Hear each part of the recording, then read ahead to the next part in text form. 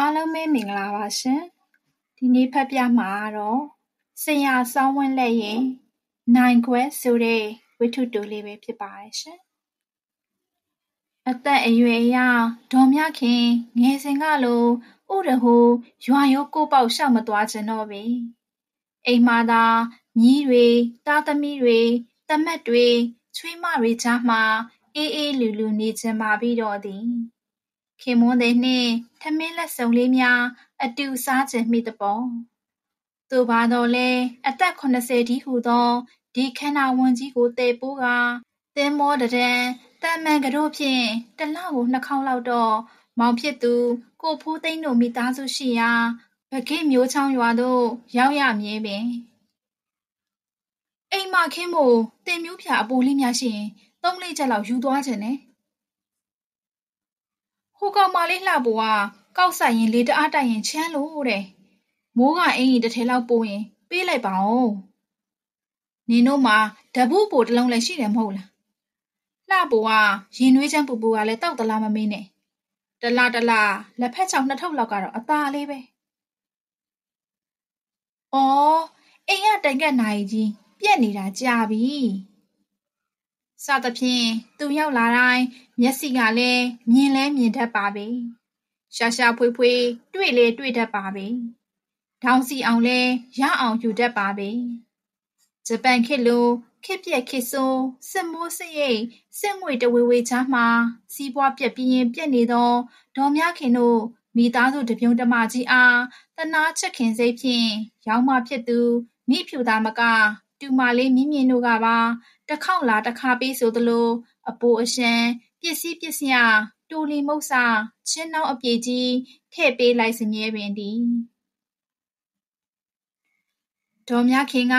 နေချင်းပြန်လာလေးရှိပြီးညနေစာထမင်းစားတော့လမ်းစိတ်ပါယူလျက်ညနေဆောင်ထွက်သည့်ဟင်းသာရင်တင်မောဖြင့်သူတို့မိသားစုနေထိုင်ရာကဲငယ်ချင်းရွာသို့ပြန်မြဲဖြစ်သည်တကယ်တော့သူတစ်ခေါက်လာပြီဆိုတိုင်း လမ်းစီးထက်မက ထိုက်ထိုက်တန်းတန်းပို့ပို့ရှမ်းရှမ်းလောက်လောက်ငါငါလေး ပေးလိုက်ကြစမြဲပင်မြည်သည့်အခါမဆို အလားမှလက်ပလားအပြန်မှာတက်နှစ်တဘူတဲသွားမှလဲဒေါ်မြခင်တို့မိသားစုတပြုံတမကြီးကအစဉ်ပြေကြမှာကိုသူတို့တမိသားစုလုံးဗယုတ်ဒုက္ခတွေဖြစ်နေကြတာကြပြီအင်္ဂလိပ်ခေတ်တုန်းကလုပ်ငန်းကိုင်ငန်းသေးလေးတွေကမစိုးလား စစ်ကြီးအပြီးဂျပန်အဝင်မှာစ၍ချွတ်ချုံကြလာလိုက်တာဘာလေးပဲကောက်လို့လို့ရုံလုံးမပေါ်ဟိုဟာရှုံးဒီဟာရှုံးနှင့်အကျွင်းတွေကလည်းပက်လင်ဝိုင်းလို့မိသားစုစားအုပ်ကလည်းအတုံကြီးပါသည်မောင်ဖြစ်သူကိုဖိုးသိန်းတို့မှမိသားစု၄ယောက်ထဲရင်စုစုဆောင်းဆောင်းချောင်းချောင်းလဲလဲလေးလဲရှိသလိုဟို တလုံးစီကကိုဖိုးသိန်း၏မိမမိဖြူဘက်ကမိဘအမွေနှင့်လေဥယျာဉ်နှင့်အတွင်းပစ္စည်းအချို့မိဖြူတို့မောင်နှမတွေကိုခွဲဝေနိုင်ခဲ့ရာနဲတာများတာအပထားဟေးဒါဒုမိဘတွေဆုံးမသွားခဲ့လို့ခွဲလို့ဝေလို့ရတဲ့အမွေဆိုပြီးတတိတတန်တက်တက်မှတ်မှတ်ပတ်ဝန်းကျင်ကိုအတန်ပေးနိုင်ခဲ့ပြီဖြစ်၏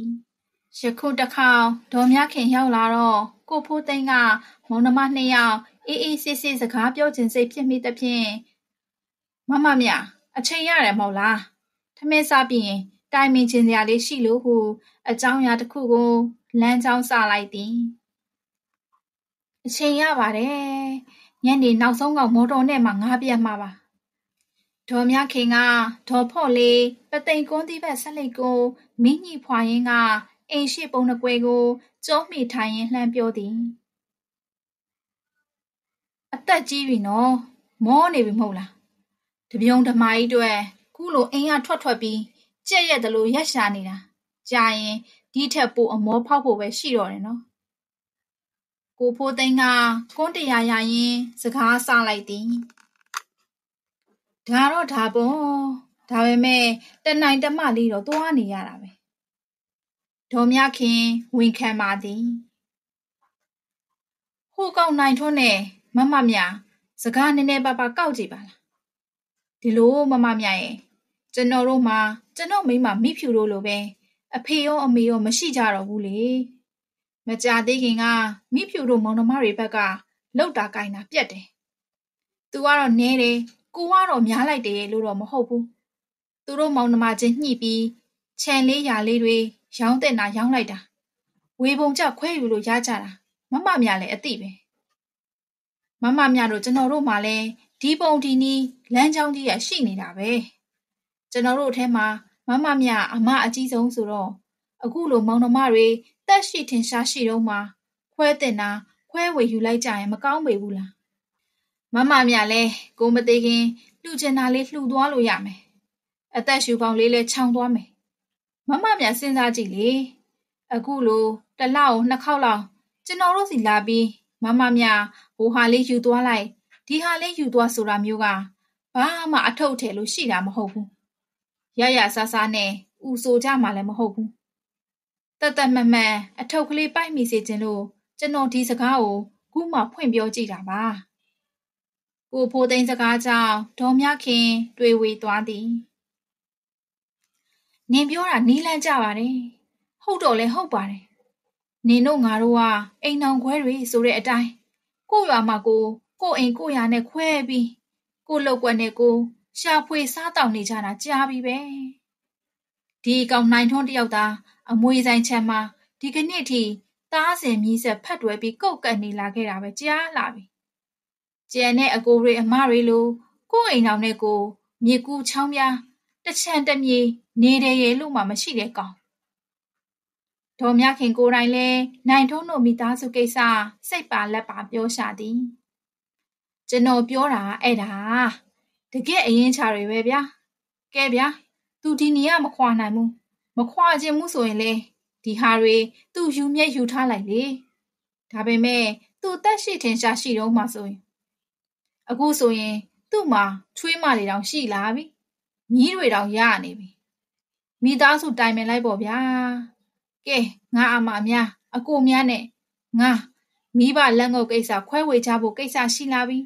ဘလို့လှုပ်ချင်ကြတဲ့ဆိုတော့သူ့တိုင်ပင်ရမယ်အေးပေါ့သူ့တိုင်ပင်တဲ့တာပေါ့ဒီလိုမှမဟုတ်ပဲဒီမှာနေသားကြနေပြီဒီခြံဝိုင်းကြီးတွေကဘဲမှဖယ်ဖို့ပြောင်းဖို့ရွှေ့ဖို့လဲအာတီတမရှိကြတော့ဘူးဆိုရင်လေတနည်းစဉ်းစားကြပေါ့ မဟုတ်ဘူးလားသူတို့ကငါထဲဆိုင်ရင်ဘာပဲပြောပြောအဆင်ပြေနေကြသေးတာငါသိပါတယ်ငါပြောချင်တာကဒီဟာကိုရောင်းပြီးမခွဲဝေခြင်းဘူးဆိုရင်ကျန်တဲ့မောင်နှမတွေကိုထိုက်တဲ့လောက်ကာလပေါက်စင်းနဲ့တွက်ပြီးသူအမ်းလိုက်ပေါ့မဟုတ်ဘူးလားဒါလည်းဖြစ်တာပဲမမမြရဲ့အဲ့ဒါပါပဲကျွန်တော်တိုင်ပင်ခြင်းနဲ့ဆိုတာ မမမြနိုင်ထုံးကိုစကားတောက်ကြည့်လေသူဘာပြောမလဲဆိုတာသိရတာပေါ့မမမြတို့မိသားစုအလုံးခဲနဲ့အဆင်ပြေနိုင်မဲ့လမ်းကြောင်းကတော့လောလောဆယ်ဒီဟာပဲရှိအေးလေတရက်တော့သူတို့စီသွားပြီးနိုင်ထုံးကိုငါပြောကြည့်လိုက်ပါမယ်ဒေါ်မြခင်စုံဖြတ်လိုက်ဟန်တူသည်ကိုဖိုးသိမ့်ဘက်ကလည်းသူ့အမကြီးမိသားစုကို ကူညီနိုင်တာထက်ပိုပြီးကူညီခြင်းတော်လဲဝဲနှစ်အားနှင့်ချိန်ဆနေရရမှယခုလိုစိတ်ကူးရ၍အမွေကိစ္စလမ်းဖွင့်ပေးခဲ့မိခြင်းသာနိုင်ထုံးကသူ့ညီဖြစ်၏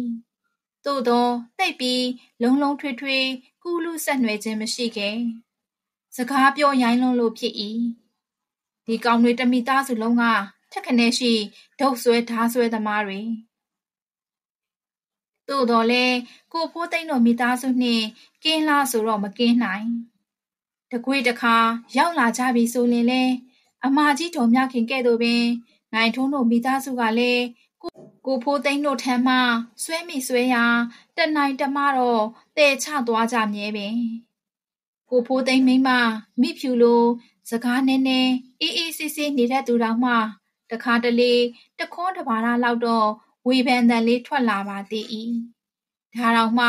ရီရီပြုံးပြုံးနှင့်ပြောတာပါရှင့်အမတွေညီတွေများတခါမှကျမတို့အတွက်ယူလာတဲလာတယ်ဆိုတာမရှိဘူးသူတို့လိုချင်တာတွေကိုတော့လက်တွေကတွက်လိုက်ကြသလားမမေးနဲ့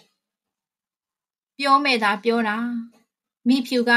ညူစုချင်းကင်းပါသည်အနေအေးအပြောအေးဟုဆိုနိုင်ပါသည် လူချင်းမျက်စိနဲ့ပတ်သက်သည့်အပိုင်းမှာတော့မိဖြူပြောလဲပြောစရာမို့ကိုဖိုးသိန်းအသာလေးငြိမ်နေရ၏ကိုဘက်ကဟာတွေကလွန်နေတာကိုဝါဆိုလာဆုပ်ဆက်လေးရဲ့တောက်ကြနေမနက်10နာရီတာတာလောက်ရွာဦးနတ်စင်ကူတရားမှာ မော်တော်စိုက်တန်းကြားရပြီးမကြမီပင်ဒေါ်မြခင်ရောက်လာပြန်သည် ကိုဖိုးသိန်းကလေထဲမှခဏပြန်လာချိန်မှာ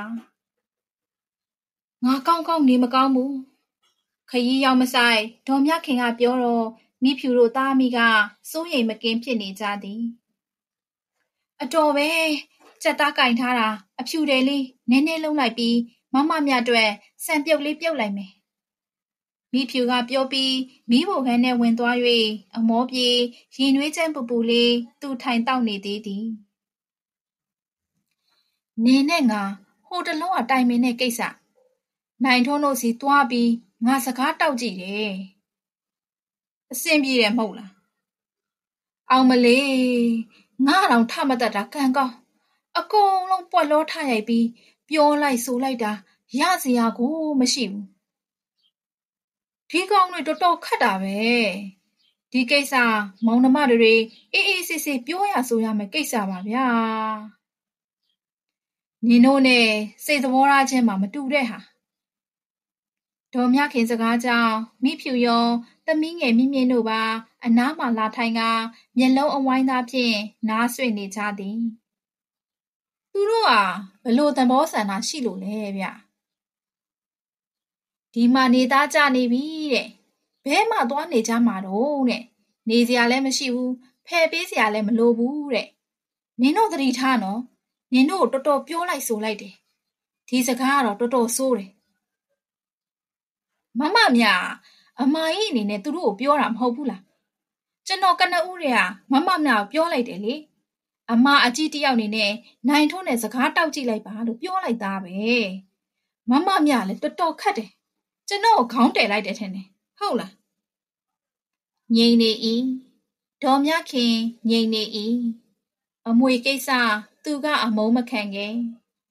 ကိုဖိုးသိမ်းပြောခိုင်းသလိုမျိုးနိုင်ထုံးကို သူ့သွားပြောခဲ့ရိုးအမှန်ပင်မောင်နှမအချင်းချင်းမှာဒီလိုဟိုလှက်ပက်ပြောဒီလှက်ပက်ပြော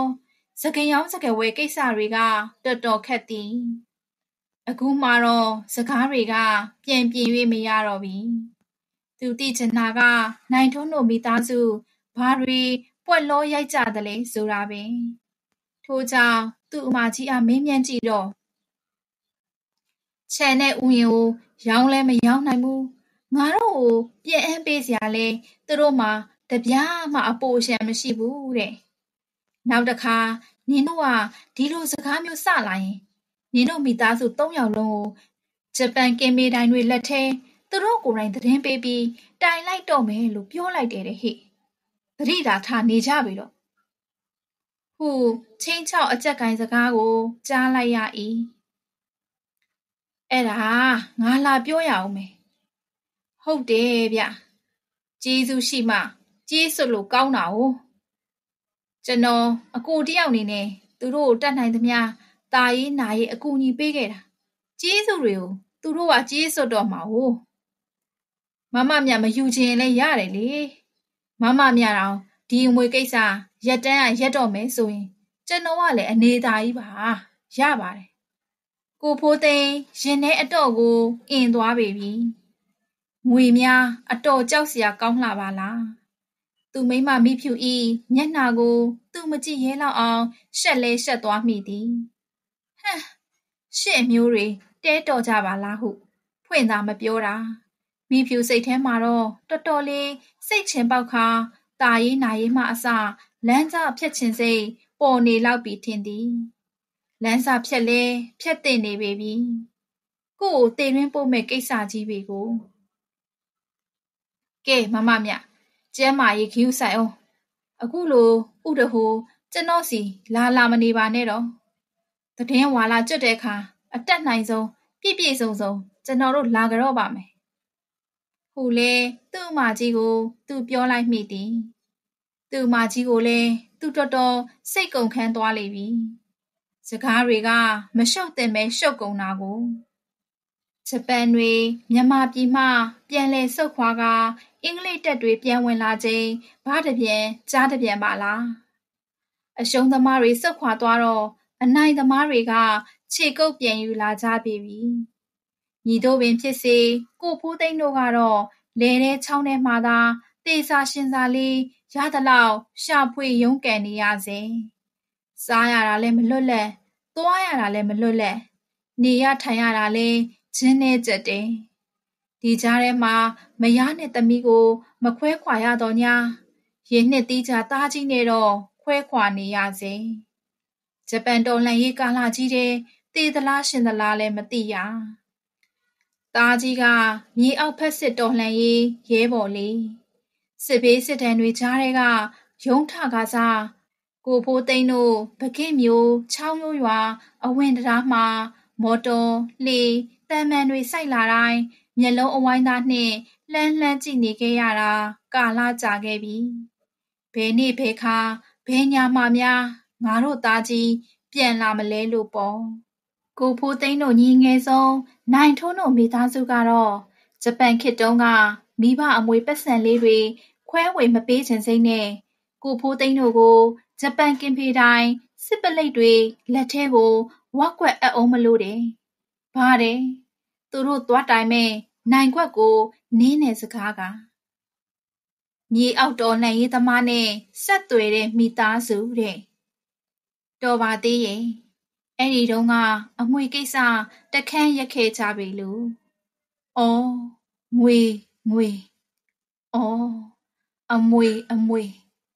ရှိပါစေတော့ ကြောက်စရာကောင်းလိုက်တဲ့ငွေထိုက်မှရတတ်တယ်ဆိုတဲ့အမွေစေတနာတွေအကျိုးပေးကြအောင်မှာပါတန်ဝေကရစရာကြီးခစ်ဆိုးခစ်ကျက်သေးတဲ့မှာရတဲ့ရထိုက်တာမရသွားရှာပဲစင်စင်ရဲရဲတိမ်မသွားရရှာတဲ့အမကြီးဒေါ်မြခင်ကိုတော့ကိုဖိုးသိန်းလွမ်းနေသေးပါအမကြီးစုံနာမှတ်မှတ်ရရ1308ခု တစောင်းမုံလာဇန်6ရက်နေ့စောင်းဝင်းလက်ကလျာမဂ္ဂဇင်းနိုဝင်ဘာလ2017အဆုံးထိနားဆင်ပေးခဲ့တာအားလုံးကိုကျေးဇူးတင်ပါတယ်ရှင်